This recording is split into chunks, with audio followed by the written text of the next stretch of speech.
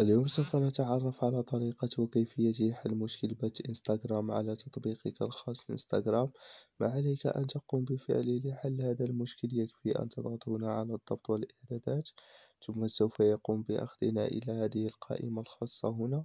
بعدها سوف تقوم بالنزول للأسفل تضغط هنا على التطبيقات. نأتي إلى نافذة التطبيقات الخاص بك في هذه القائمة. بعدها سوف تقوم بالنزول للأسفل هنا للبحث هنا عن تطبيقك الخاص إنستغرام.